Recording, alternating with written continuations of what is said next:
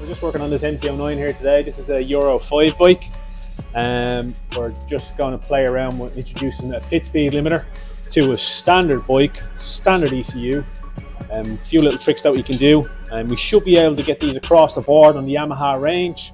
So T7, MT-07, MT-10,